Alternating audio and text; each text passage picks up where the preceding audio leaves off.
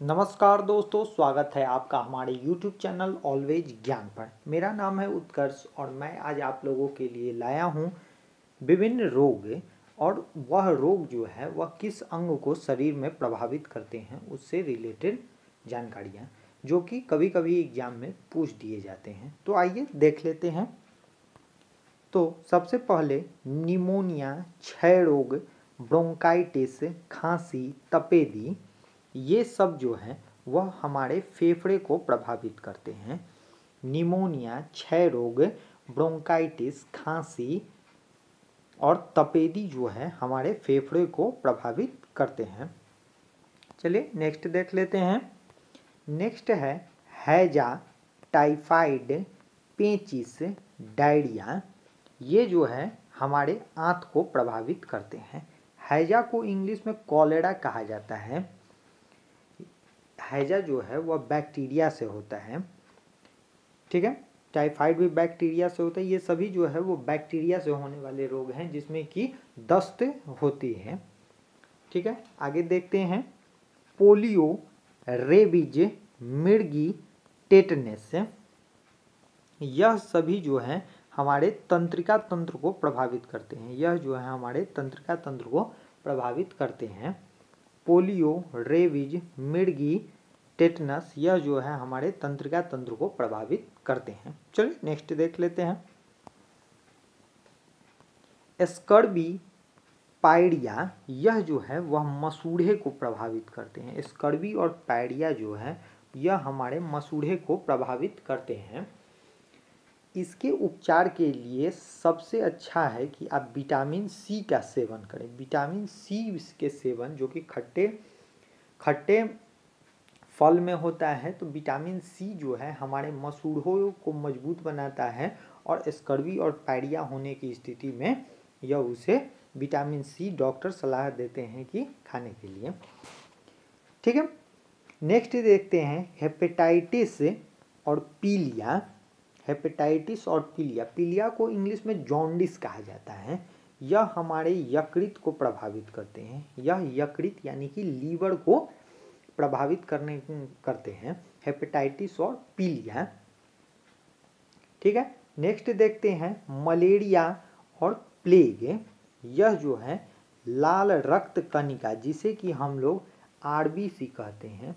जिसे कि हम लोग आरबीसी कहते हैं। आरबीसी यानी कि रेड ब्लड सेल आरबीसी यानी कि रेड ब्लड सेल यह जो है हमारे लाल रक्त कणिका को प्रभावित करते हैं।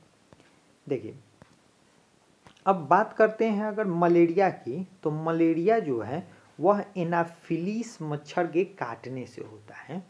यह एक प्रो, परजीवी है, प्रोटोजुआ होता है, जो कि एनाफिलीस मच्छर के काटने से होता है। और कुनैन की छाल, कुनैन एक वृक्ष है जिसके छाल से दवा बनाई जाती है, जो कि मलेरिया को समाप्त करता है, ठीक है? और यह प्लाज्मोडियम जो होता है, प्लाज्मोडियम इसमें होता है, जो कि अब शरीर में छोड़ देता है, जिससे कि मलेरिया हो जाती है। रोनल्ड रॉस ने जो है, वह इसका पता लगाया था प्लाज्मोडियम का। आपको यहाँ पे एक्स्ट्रा में जानकारी दे दिया। कभी कभी एग्ज़ाम में पूछ दिया जाता है। ठीक है? तो नेक्स्ट हम लोग देखते हैं। मधुमेह मधुमेह या डायबिटीज़। मधुमेह और डायबिटीज़ को प्रभावित करने वाले अंग हैं अग्न्याशय, जिसे कि पैनक्रियाज कहते हैं। डायबिटीज़ या मधुमेह, जो कि आज के डेट में काफ़ी कॉमन सा हो गया है, यह हमारे पैनक्रियाज या अग्न्याशय को प्रभावित करते हैं। ठीक है नेक्स्ट देखते हैं। काला जाड़ काला जाड़ जो है, वह अस्थि मज्जा को प्रभावित करता है। काला जाड़ जो है, वह अस्थि मज्जा को प्रभावित करता है। अस्थि मज्जा क्या है?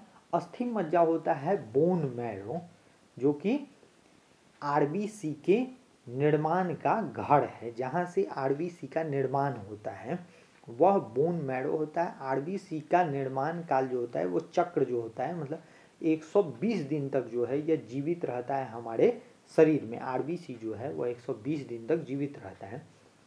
तो आरबीसी का निर्माण जो है वह हमारे अस्थि मज्जा से होता है। ठीक है? नेक्स्ट देखते हैं डिप्थीरिया अस्थमा या दमा। अस्थमा को हम लोग दमा भी कहते हैं। तो यह जो है श्वास नली को प्रभावित करती है, यानी कि रेस्पिरेटरी सिस्टम यानी कि श्वसन तंत्र को प्रभावित जो है वह डिप्थीरिया अस्थमा जो है, यह करता है हमारे श्वास नली को प्रभावित। ठीक है? नेक्स्ट देखते हैं हम लोग। घेंघा या ग्वाइटर। घेंगा को इंग्लिश में ग्वाइटर कहा जाता है। यह थायराइड ग्रंथि तथा गला को प्रभावित करता है। यह थायराइड ग्रंथि तथा गला को प्रभावित घेंगा करता है। इसलिए इसे ठीक करने के लिए आयोडीन युक्त नमक का उपयोग करने की सलाह दी जाती है। आयोडीन युक्त नमक जो है, देखिए, थायराइड ग्रंथि जो होता है, उसमें आयोडीन भरा होता है, थायरॉक्सिन जो होता है, वह इसी से रिलेटेड है। तो ये हमारा ग्वाइटर जो होता है गले में, इसमें आयोडीन होता है। अगर आप में आयोडीन की कमी होती है तो गला फूल जाता है और घेंघा हो जाता है। इसलिए डॉक्टर हमें सलाह देते हैं कि आयोडीन युक्त नमक का प्रयोग करें ताकि यह बीमारी ना हो। ठीक है नेक्स्ट देखते हैं। ट्रैकोमा, ग्लूकोमा और मोतियाबिंद। आप लोग मोतियाबिंद से काफ़ी परिचित होंगे। मोतियाबिंद जो है, वह आँख के लिए काफ़ी कॉमन सी बीमारी है। तो इससे प्रभावित होने वाले हमारे अंग हैं आँख। ग्लूकोमा भी, आँख की बीमारी है, ट्रैकोमा भी जो है, वह आँख की ही प्रभावित करने वाली बीमारी है। तो इससे जो है, हमारे आँख प्रभावित होते हैं।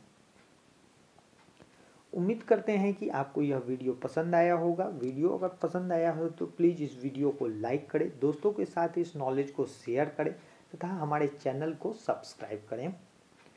ठीक, इसी तरह की वीडियो देखने के लिए आपका धन्यवाद। आपका दिन शुभ हो।